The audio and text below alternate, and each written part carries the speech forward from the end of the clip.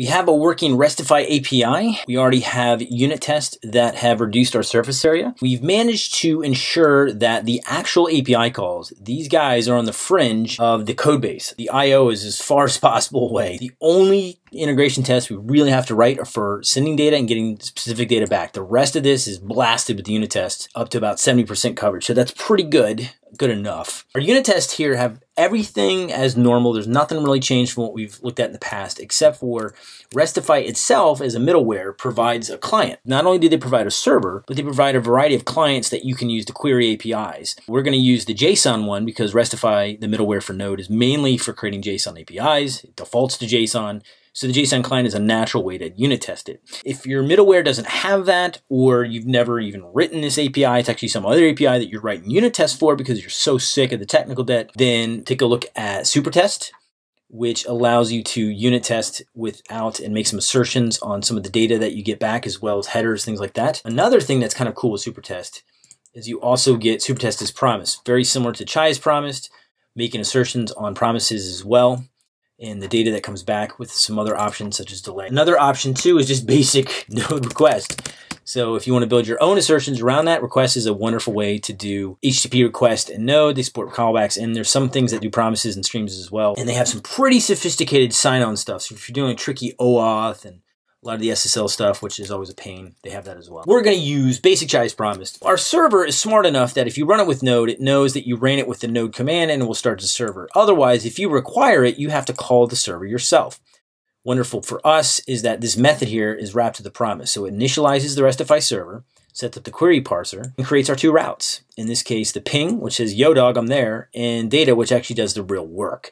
These are the kind of APIs that do the database calls and stuff. So you're not really interested in testing that first. You just want to verify, does my code even talk to a running server? The last thing this does is listen on port 8080, which is hard coded. And at this point, we know that this promise wrapper is done. So we call success with the actual live connected server variable. In our integration test, set this up, you have to first import it. So let's import our start server from our index we will describe, just like we do in normal unit test, except the only difference between this one is the integration test name. So say index integration. So if we see it in the console, we can tell the difference between this and regular unit tests. We need three variables to get this thing moving. We need server, and they unfortunately are mutable because we're going to create it and turn it off. This is not a serverless architecture. Crimea River. So get clients, which is our JSON client. We're going to make calls on our server. Get URL is going to be a method partial that saves us some typing. So before is a keyword to run before all unit tests, not before each, but actually before the entire suite of unit tests. We need to set up the server one time, all unit tests will test it, and then at the end we'll shut it down and clean up our mess. The first thing we need is, we gotta make this asynchronous because this is gonna take a while. Restify has a factory function for create JSON client. Only requires really one configuration parameter, and that is where is your server running from? Thankfully, we can create servers locally nowadays pretty quickly, so we just give it a URL of localhost. If you're testing some other server somewhere else, you could create this URL to be some known URL it's externally. Start server is a promise, so we wait for the then. The result, as you and I know, is going to be the server, so we'll set the server to whatever it gives us, already connected, ready to go. We'll call done without any parameters to let Mocha know we are ready to run our unit tests.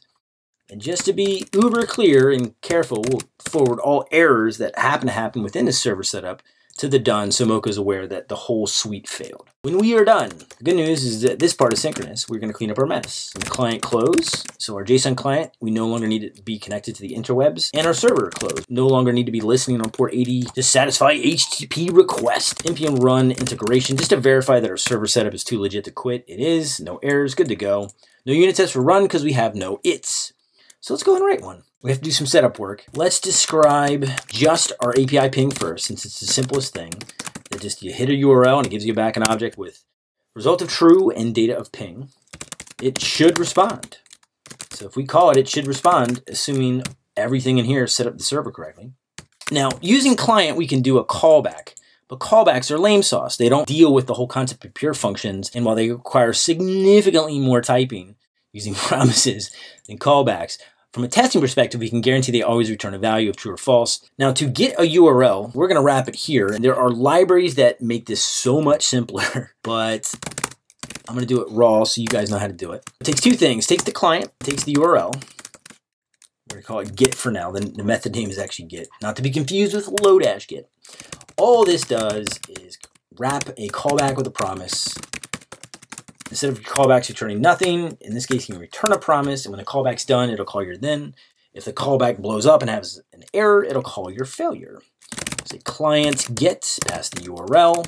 You get a variety of parameters back, error if anything went wrong, the request used to actually make the call, the response, raw response data if you want to parse that, and always an object that's never null or undefined. They did that on purpose. I don't know if that's a good thing or bad. I'll leave that for you to debate. If there's an error, we're going to get go ahead and return a failure. The return value doesn't make any difference. Nobody cares about the return. It's really just to stop the code execution so no code below this runs. All we care about is calling failure and passing the error. If it doesn't fail, then we will call success with the object that we received from the server and let the unit test assert if this is legit or not. Our job is merely to convert a callback into a promise. That's all it does. When we call get, here's the problem. Where do we get our client from? so the client is a stateful variable, unfortunately, and is created before. So in theory, we could put this on the right and give it a default value of client. But do we really want to put a method closure inside here every time? Like just for that? That's ridiculous. So instead of using a default parameter for the client, we are going to use something called a method partial. That is a function that already has some of its parameters already set for you. You just have to fill in the rest. It gives you a function back. And if you want to create the method partial here with that client inside, you could do that. Go on get URL and use Lodash's partial function. We say get and always provide the first parameter of client that we just made. Now we can call get URL without worrying about the client. It's already supplied for us and just provide the route or the URL. API ping, again, this route is the exact same for the ping route that we've already defined. The actual JSON API handles the URL for you, so you should good to go on that aspect. Should respond if we return a promise of get URL and we ping that with the JSON client, we should get some JSON back. It should eventually be fulfilled. Our then should fire, everyone should be happy. If our server is set up correctly and running, we should be good. So we'll run our integration test. You can see our RESTify server starts listening. We call our get API ping, and it successfully responds. That's great, but did it send us the correct data, or is that just like this library claiming that everything worked? Let's start asserting some data. So we should say, should get a pong back. If we call ping, we should get pong, ping pong. Give us an act and an acknowledgement. So now we'll assert on the data. We'll say get URL API ping should eventually, now we'll deal with the data, have a property, that object we get back, which if you don't remember, it's a maybe, right? It's a result of true and a data of Pong, if you're curious what the data looks like, should have a property of data that equals Pong. Rerun our test. Voila, we can now hit an API, verify that it does in fact respond, and we get a Pong back. And our tests clean up their mess afterwards. So a lot of setup to get this to work. This is why integration tests are annoying. And only two tests 118 milliseconds. So you can see as these grow, they become significantly longer.